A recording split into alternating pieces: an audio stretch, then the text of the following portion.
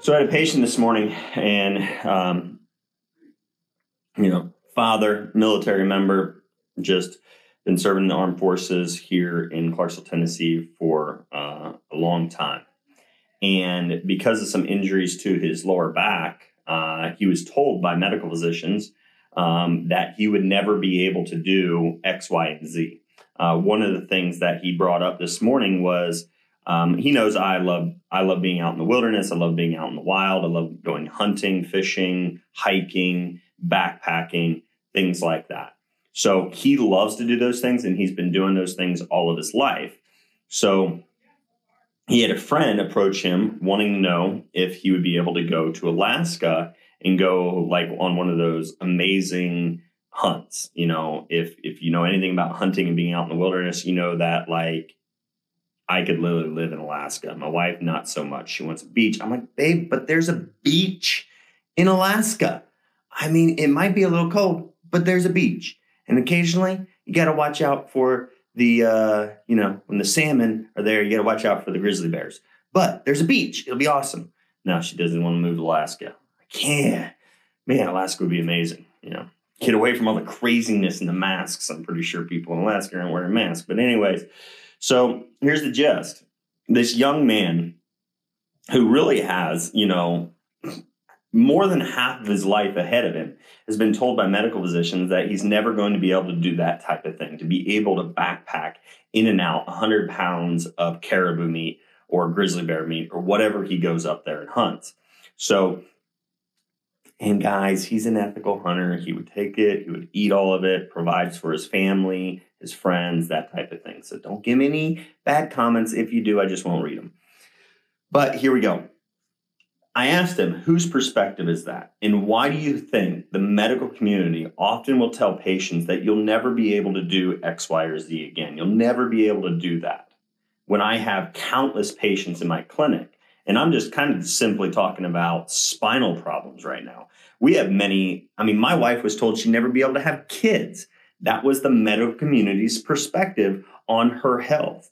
They thought she'd never be able to because she had a problem. Then she had one of their procedures, an ablation procedure, back when she was like 16 years old. And at 16 years old, she was told, You'll never be able to have children. Well, we got three, so I'm pretty sure she can.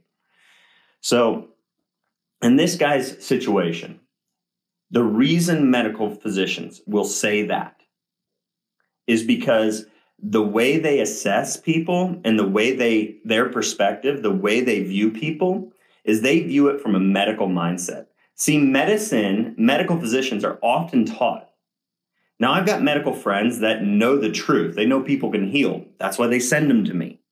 They send patients to me to heal to get off of medications to reverse their diabetes to become fertile so that them and their husband can actually have children Folks, the reason though most medical physicians will say such junk to individuals like this young man is because their perspective is, and what they're taught in school oftentimes is that once you diagnose somebody with, let's say, diabetes or a major back problem or infertility, sorry, that's you. You are defined by your diagnosis, and it's never going away.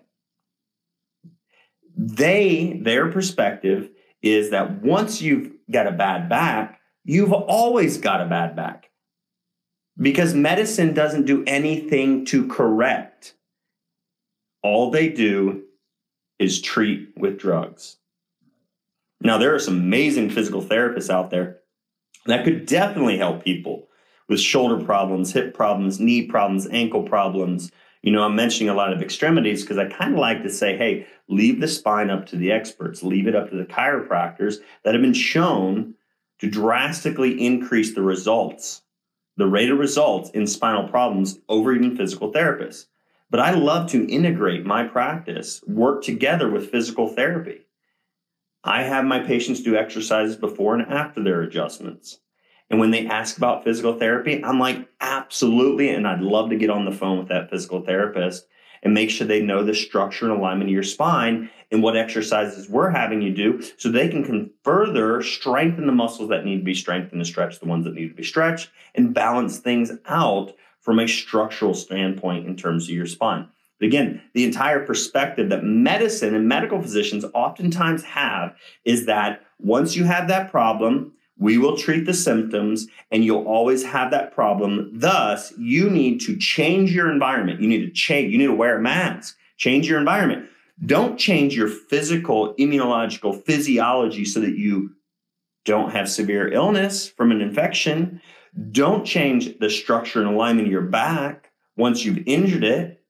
Remobilize those fixated joints, reduce that scar tissue buildup, remobilize and restore mechanical mobility of the pelvis and spine so that you can do the things you used to be able to do before the injury. Instead, they say, What's your pain level? Here, let me give you a drug. You've got a problem for the rest of your life. And don't do any of this cool, fun stuff that you'd love to do and experience the world around you because, from our perspective, you're broke and there's no way to fix you. And I said, that's the wrong perspective. But their perspective is why they told you you would never be able to do that again. I said, You work with me? He said, I've got one year. We want to go next year. I said, Awesome. What's the date? When we going? Because I want to go too. I was like, there's, I'm absolutely like, I'm dead serious. I'm like, dude, if you go to Alaska and we get you to a point where you can go to Alaska, you know what? I would love to go too. So trust me, your goal is literally my goal. You don't go, I don't go. I think that's a fair trade off, right? And think of the, the effort a physician's going to put into the work they do for somebody in that scenario. You know what? I am dead set this man is going to go on an Alaskan hunting trip and be able to pack out hundreds of pounds on his back. I know it. There's not a shadow of doubt in my mind. Because of the drastic improvements he's already had in my clinic, you know what? He's even like, maybe even go back to flying again. That would be awesome. But again, if he's only working if he had only ever worked, think about how many people are out there right now in this world who are working with doctors who say you can't, you'll never be able to. And my heart breaks for the people that do have serious conditions, that their injuries are so great. You know, there are people that go through car accidents and have severed spinal cords. And you know what? Breaks my heart. I'm not saying I can restore every single human being that ever walks through my office to be able to do whatever they ever wanted to do. But in situations like this, which is the vast majority, how many people are being told they can't? They'll never be able to. Or how many people are being told there's nothing we can do to help you? I hear that a lot with cancer patients. People diagnosed with cancer told there's nothing we can do to help you.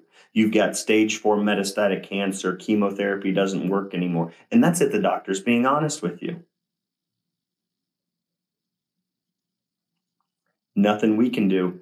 That's when you walk out of the office and you go find somebody who says they can. You never go back to people who say you can't. Again, there are limitations that matter in this world at times that many of us and many of our lives are somewhat bound by. But for the vast majority of people, there's a whole lot you can do to extend the quality of life, improve the quality of life, improve your functional capacity, improve your fertility, improve the structure and alignment of your back so that you can pack out 100 pounds. And I even talked to him briefly. I'm like, well, here's the thing: is most people pack it all on your back. Once you pack some on your front, some on your back, so you're even out. You don't have to lean forward and then destroy your back on the several mile hike through the mountains to get back to camp. You know what? If you did that, it's going to serve you a whole lot better. Stop packing it all on your back. Even it out. It's going to do you a whole lot better.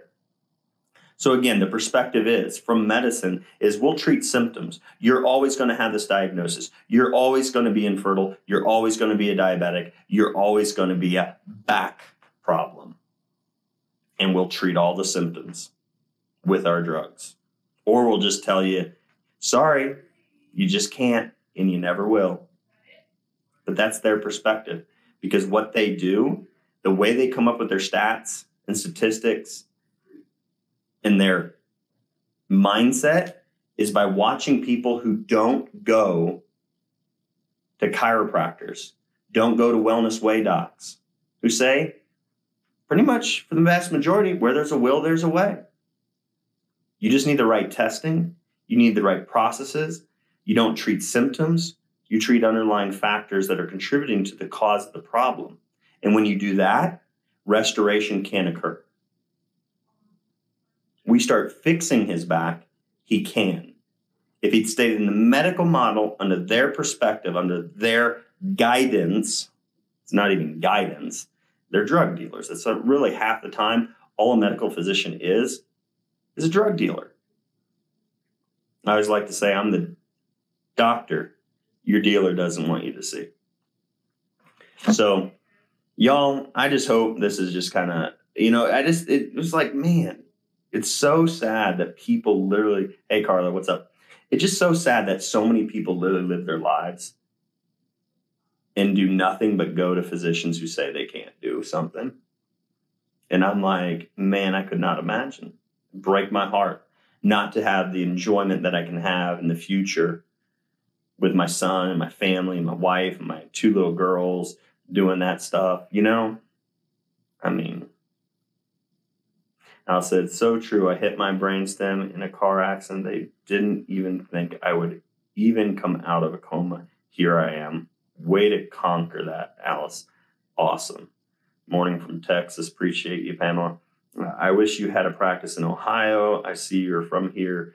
Uh, we need a good doc here. Tammy, Tammy, trust me, the Wellness Way and the Wellness Way docs, you may have somebody closer to you. If you ever have things that aren't just solely and specifically structural and spinal, we can do health coaching online. We can do health coaching via phone consultation. We can do we can mail you kits for proper testing. You get it done at a local lab, blood draw location, and then you can get the results. And I'll help guide you in a way to correcting the underlying factors that are contributing to your condition. So I can still help you, even if you're from Ohio. But yep, that's where I grew up, born and raised. So trust me, there's a lot of people I wish I could be able to help up there with more than just you know coaching. But hey, I got people that travel in to town and spend a week or two here and get intensive corrective work on their spine and return home a whole lot better. I've got patients that send me x rays and I do analysis for exercises to incorporate with chiropractic care that they're getting in their hometown. These are all things that I can help you with. Because, hey, if you've got a will and you've got a desire to do something, you know what? We're going to look at all the factors that are keeping you from being able to achieve that goal. And we look at that factors and we start checking off and we say, we can, we can take care of that factor. We can take care of this factor. Sometimes certain factors you're not going to get away from. You know, and that's not as simple as like a broken bone or a, a severed spinal cord or something crazy. Um, but sometimes it's like, you know what? You need the job right now. You need that income, but it's stressing you out like crazy, and your stress hormones are through the roof. And because your stress hormones are through the roof, that's why you can't become pregnant. And stress is a major factor in infertility. And sometimes it's a protective mechanism. That's one of the, and just kind of off on a tangent here, but I think about it, I'm like, I wish more women would understand that sometimes when you can't become pregnant, it's actually one, God looking out for you. Every child is a blessing from God, but sometimes your health and your life, God doesn't want to see you hurt, harmed. He doesn't want to see a child come into this world sick and having health problems the medical world thinks, hey, let's just force a pregnancy upon the person. Let's not look at why they're not becoming pregnant, what factors are contributing to the environment that isn't accepting pregnancy. Instead, let's just try and force it upon them. What do you think neurological health problems and serious illnesses are at far, far higher rates in children born in that manner? Because they're not looking at the stress factors they're contributing to the poor health of the individuals trying to become pregnant, whether it be the woman or even the man sometimes. So if you remove that stress, it's the best environment for you and the baby to be in while you're pregnant and when you give birth to bring a healthy baby and maintain a healthy mother. So, those are some thoughts. Love you all. Appreciate you all. I got to go into consultation. We'll see you all later. Make sure you share this, please, especially if somebody's been told they can't. All right. I think hope is always something that has significant value to anybody's life. And a lot of times people are having hope taken from them because of medicine. Love y'all.